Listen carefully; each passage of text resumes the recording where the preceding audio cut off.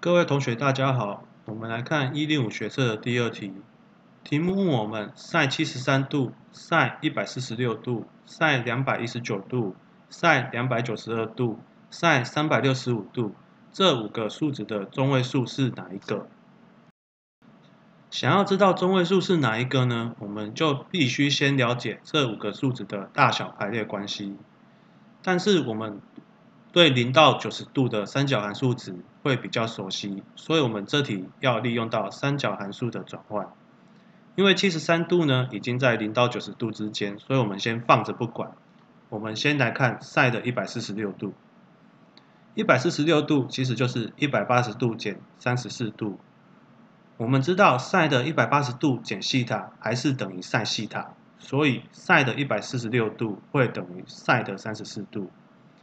第二个，我们来看 sin 的两百一十九度。两百一十九度呢，是一百八十度加三十九度。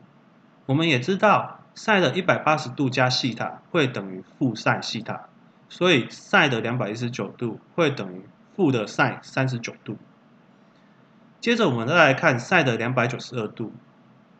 两百九十二度是三百六十度再减掉六十八度。我们知道 sin 的三百六十度减西塔会等于负的 sin 西塔，所以 sin 的两百九十二度也会等于负的 sin 六十八度。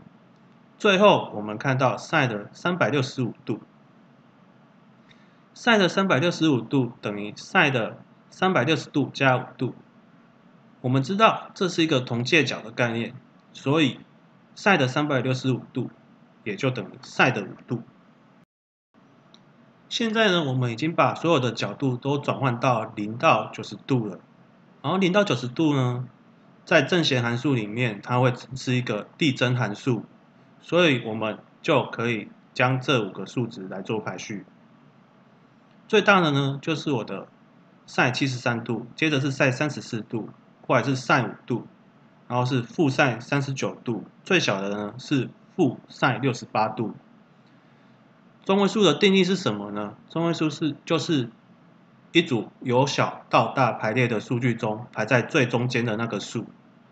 我们可以看到排在最中间的是 sin 五度，而 sin 五度是谁呢？就是 sin 的三百六十五度。